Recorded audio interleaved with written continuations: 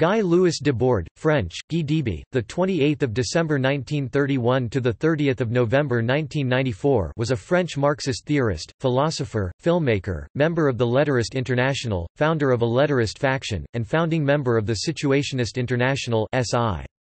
He was also briefly a member of Socialisme ou Barbarie. Topic: Early life. Guy Debord also known as Debord Guy, was born in Paris in 1931. Debord's father, Martial, was a pharmacist who died due to illness when Debord was young. Debord's mother, Paulette Rossi, sent Guy to live with his grandmother in her family villa in Italy. During World War II, the Rosses left the villa and began to travel from town to town.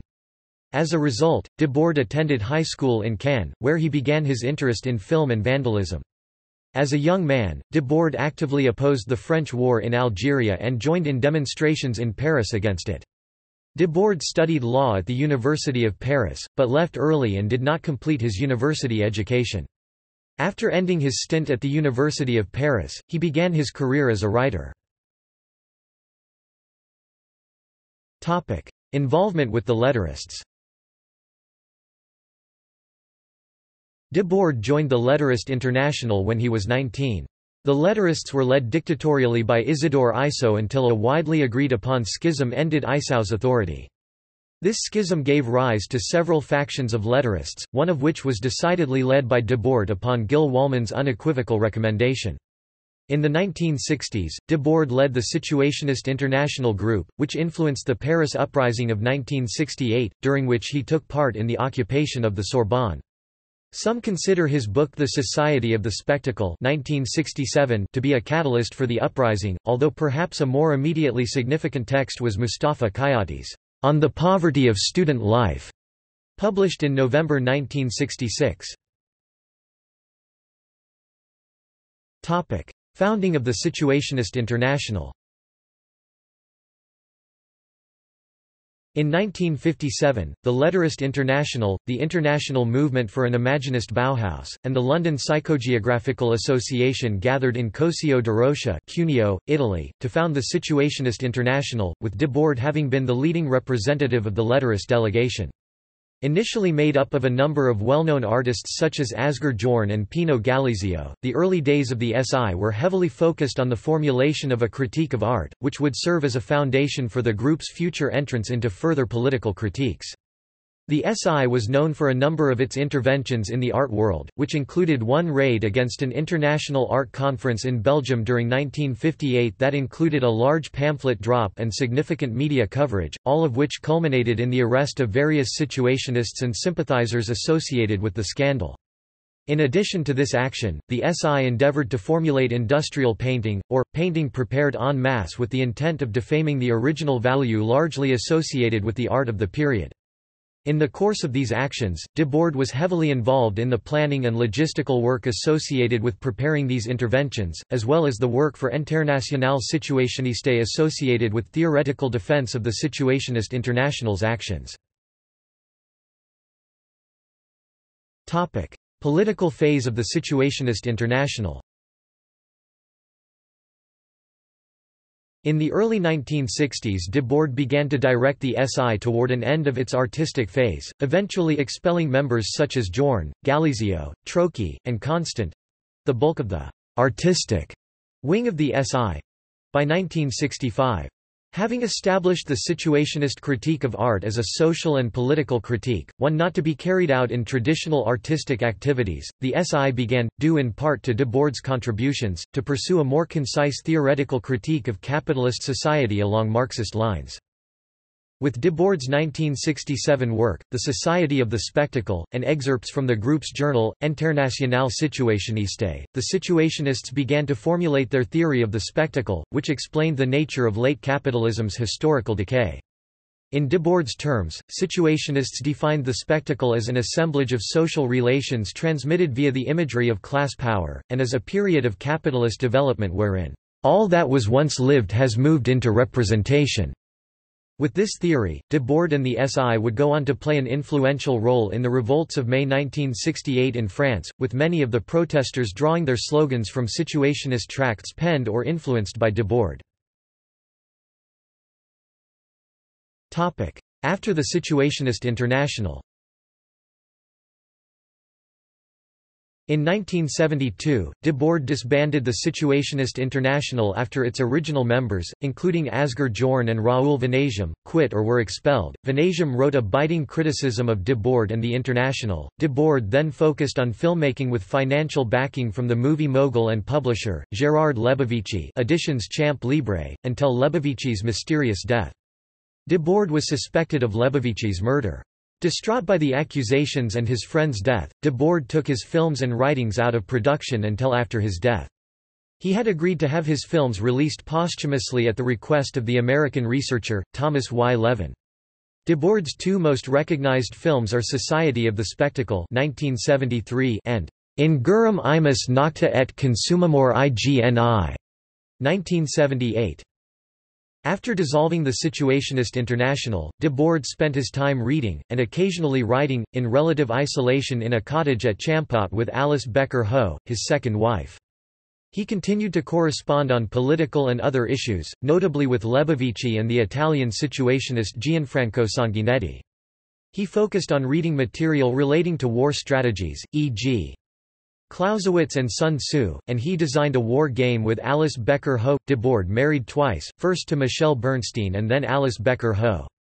Debord had affairs with other women, including Michèle Mochot-Bréhat. Bernstein wrote a vaguely fictional but detailed account of the open relationships Mochot and she had with Debord in her novel All the King's Horses. Death Just before Debord's death, he filmed although did not publish a documentary, Son art et son temps, His Art and His Times, an autobiography of sorts that focused primarily on social issues in Paris in the 1990s. It has been suggested that his dark depiction of this period was a suicide note of sorts. Both Debord's depression and alcohol consumption had become problematic, resulting in a form of polyneuritis.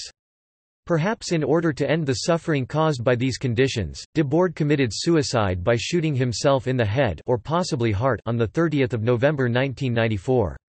This was not the first time he attempted to end his life. Debord's suicide is as controversial as it is unclear. Some assert it was a revolutionary act related to his career. Due to his involvement with the Radical Situationist International (SI), as well as his sadness at the society as a spectacle being considered a cliché in later life, many think that Debord felt hopeless about the very society he was trying to shed light on. Debord was said to be victim of the spectacle he fought. Among the many commentaries on Debord's demise, one scholar noted, Guy Debord did not kill himself.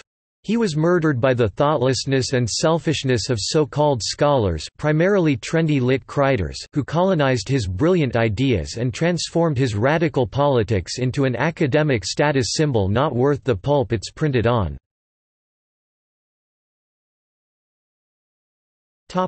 Legacy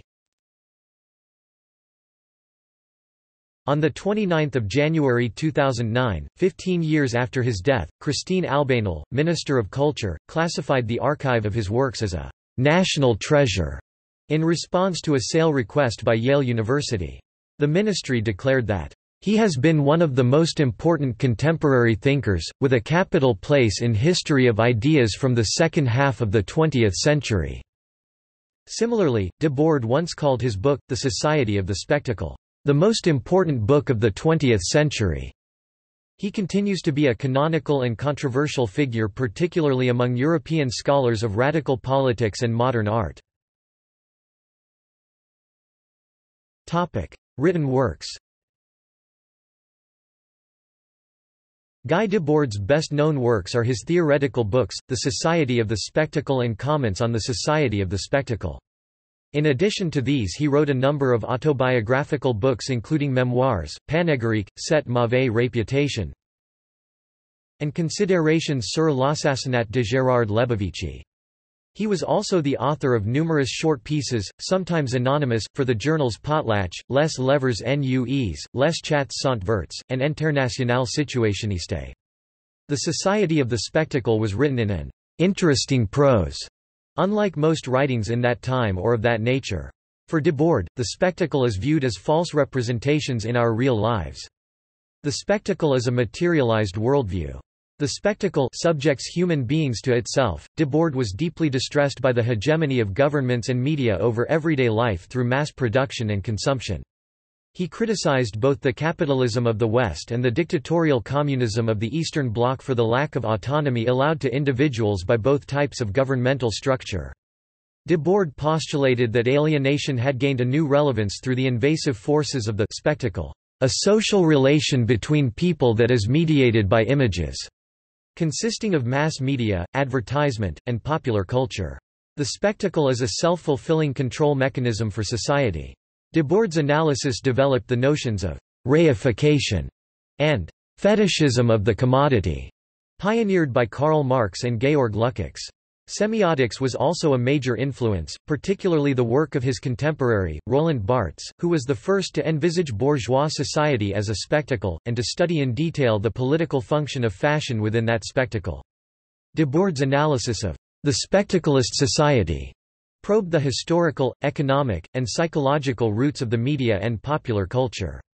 Central to this school of thought was the claim that alienation is more than an emotive description or an aspect of individual psychology, rather, it is a consequence of the mercantile form of social organization that has reached its climax in capitalism, as theorized by Herbert Marcuse of the Frankfurt School. The Situationist International SI, a political, artistic movement organized by Debord and his colleagues and represented by a journal of the same name, attempted to create a series of strategies for engaging in class struggle by reclaiming individual autonomy from the spectacle. These strategies, including «dérive» and «détournement», drew on the traditions of lettrism. As founder of the SI, it has been suggested that Debord felt driven to generalize and define the values, ideas, and characteristics of the entire group, which may have contributed to his hand-picking and expulsion of members. The hierarchical and dictatorial nature of the SI existed, however, in the groups that birthed it, including the letterists and the surrealists. Debord's first book, Memoirs, was bound with a sandpaper cover so that it would damage other books placed next to it. Debord has been the subject of numerous biographies, works of fiction, artworks, and songs, many of which are catalogued in the bibliography by Shigenobu Gonzalez, Guy Debord ou la beauté du négatif. Often, it is suggested that Debord was opposed to the creation of art, however, Debord writes in the Situationist International magazine, Contre le cinéma, that he believes that ordinary quotidian people should make everyday quotidian art. Art and creation should liberate from the spectacle, from capitalism, and from the banality of everyday life in contemporary society. In The Society of the Spectacle, Debord argues that it is the price put on art that destroys the integrity of the art object, not the material or the creation itself. It is important to note that Debord does not equate art to the spectacle Films Debord began an interest in film early in his life when he lived in Cannes in the late 1940s. Debord recounted that, during his youth, he was allowed to do very little other than attend films. He said that he frequently would leave in the middle of a film screening to go home because films often bored him. Debord joined the lettrists just as Isidore Isou was producing films and the lettrists attempted to sabotage Charlie Chaplin's trip to Paris through negative criticism. Overall, Debord challenged the conventions of filmmaking, prompting his audience to interact with the medium instead of being passive receivers of information. As a matter of fact, his film Hurlements exclusively consists of a series of black and white screens and silence with a bit of commentary dispersed throughout. Debord directed his first film, Hurlements en Favor de Chaudet in 1952 with the voices of Michèle Bernstein and Gil Wolman. The film has no images represented, instead, it shows bright white when there is speaking and black when there is not. Long silences separate speaking parts. The film ends with 24 minutes of black silence. People were reported to have become angry and left screenings of this film. The script is composed of quotes appropriated from various sources and made into a montage with a sort of nonlinear narrative. Later, through the financial support of Michèle Bernstein and Asger Jorn, Debord produced a second film, Sur le passage de quelques personnes à travers une assez courte unité de temps, which combined scenes with his friends and scenes from mass media culture. This integration of Debord's world with mass media culture became a running motif climaxing with the Society of the Spectacle. Debord wrote the book The Society of the Spectacle before writing the movie. When asked why he made the book into a movie, Debord said, I don't understand why this surprised people. The book was already written like a script. Debord's last film, Son Art et Son Temps, was not produced during his lifetime. It worked as a final statement where Debord recounted his works and a cultural documentary of his time. Hurlements en faveur de Sade Howls for Sade 1952 Sur le passage de quelques personnes à travers une assez courte unité de temps on the passage of a few persons through a rather brief unity of time 1959 short film, Dansk Fransk Experimental Films Company. Critique de la séparation Critique of Separation 1961 short film, Dansk Fransk Experimentalfilmscompagnie La Société du Spectacle Society of the Spectacle 1973 Simar Films Refutation de tous les jugements, tant élogieux qu'hostiles, qui ont été jusqu'ici portés sur le film. La Société du Spectacle. Refutation of all the judgments, pro or con, thus far rendered on the film. The Society of the Spectacle. 1975 short film, Simar Films. Ingurum imus nocta et consumamur igni a Latin palindrome meaning, We go round and round in the night, consumed by fire. Simar Films 1978 This film was meant to be Debord's last and is largely autobiographical. The script was reprinted in 2007 in No, a Journal of the Arts.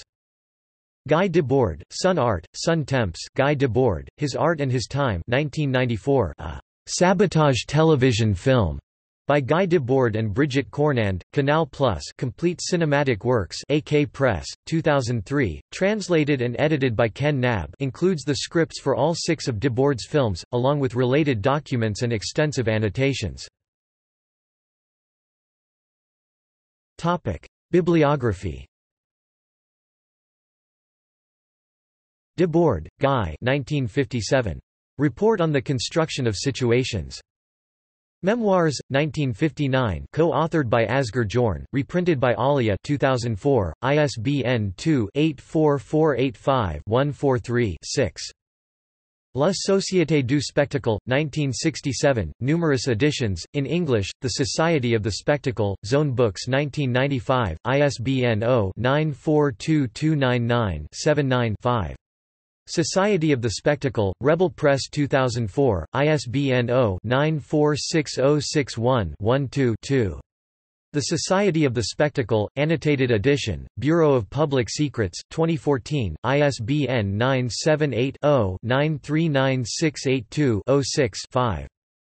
La véritable scission dans l'internationale, Champ Libre, 1972 co-authored by Gianfranco Sanguinetti, in English, The Real Split in the International, Pluto Press 2003, ISBN 0-7453-2128-3 Œuvres cinématographiques complètes, Champ Libre, 1978, new edition in 1994, in English, Complete Cinematic Works, Scripts, Stills, and Documents, AK Press 2003, ISBN 1-902593-73-1.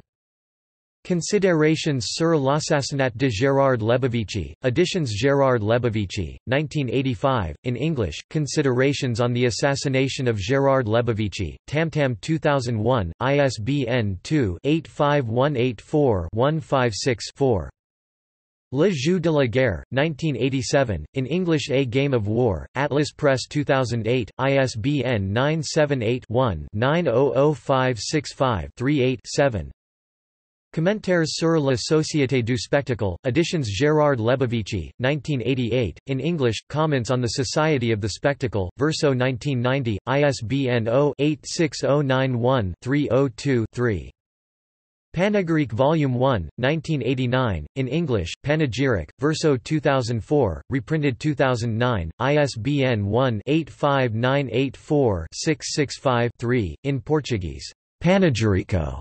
2002, ISBN 85-87193-77-5. All the Guy Debord's books and films as well as unpublished texts were gathered in a volume of Œuvres, Editions Gallimard, Collection Quarto, Paris, 2006. The Proletariat as Subject and as Representation.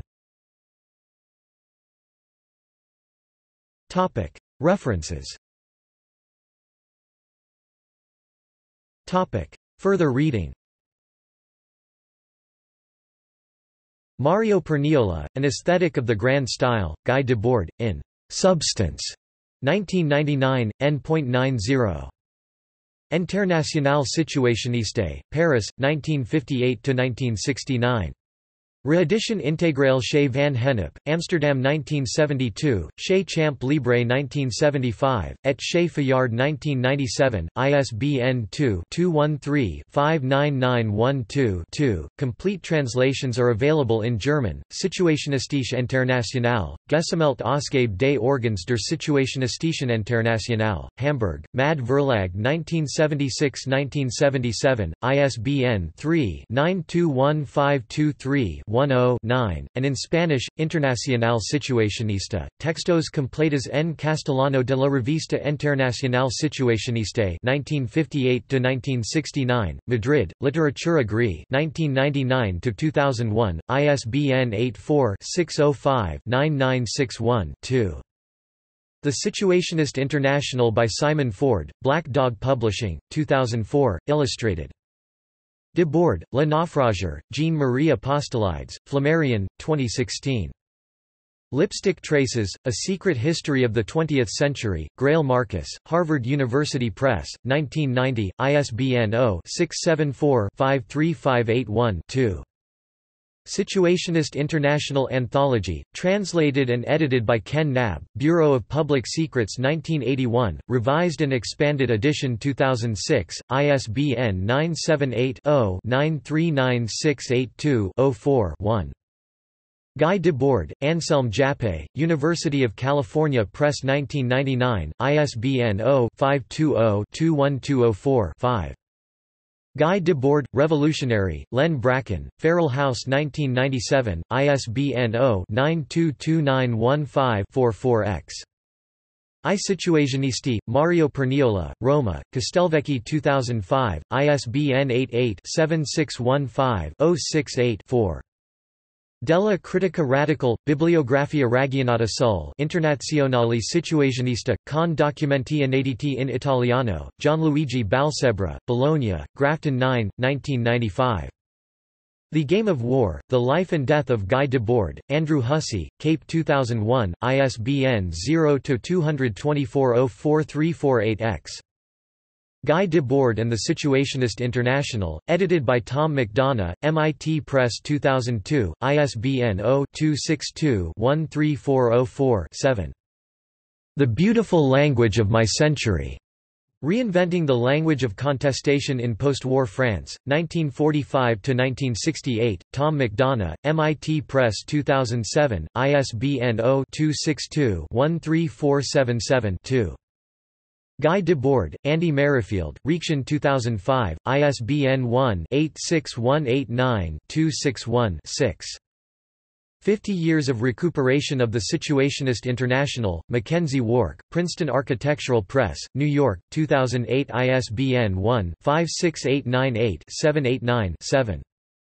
Los Situacionistas y la Anarquía, Miguel Amoros, Bilbao, Muturreko Burutazioak, 2008, ISBN 978-84-88455-98-7. Debord o la diffraction du temps, Stéphane Zagdanski, Gallimard, 2008.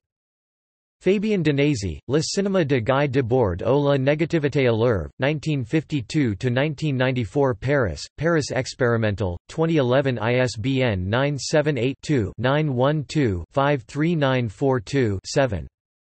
Fabien Danesi, Fabrice Flahutez et Emmanuel Guy, La Fabrique du cinéma de Guy Debord, Arles Bouches du Rhône, Actes Sud, 2013 ISBN 978-2-330-01756-9. Fabien Danesi, Fabrice Flahutez, Emmanuel Guy, Undercover Guy Debord, English-French, Paris, Artvenir, 2012 ISBN 978 295 3940619. Topic: External links. Guy Debord on IMDb.